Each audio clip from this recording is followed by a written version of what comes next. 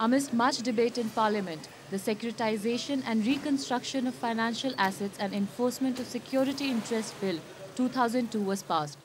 Judiciary has been short-circuited partly because the procedure for disposal of assets has to be expedited because the assets are with the bank, the bank has to dispose of the assets and recover the money.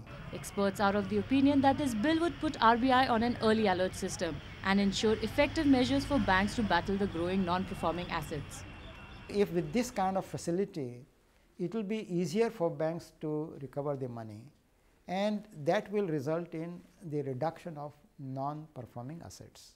So, I think that will be good for the financial sector and uh, uh, it will probably um, you know make the banking system sound.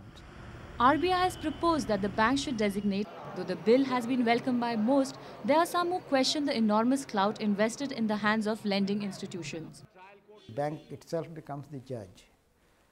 Uh, so, they, I think the finance minister has already assured the House that he is going to bring another bill which will underline the responsibilities of the lender.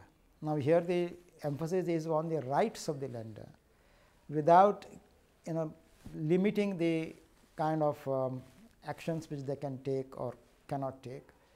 Uh, the second half will be about the responsibilities, so that they do not exercise too much of power or too indiscriminately.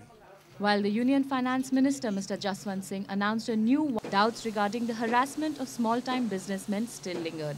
However, under the new bill, the RBI redefines debt recovery measures employed by the banks and financial institutions. The threat that you know, bank can liquidate your asset, that threat itself may probably uh, hinder uh, a borrower from uh, you know deliberately or willfully going in for non-payment. How efficiently the bill will help to deal with the current situation without risking the concerns of marginal businessmen remains the moot question.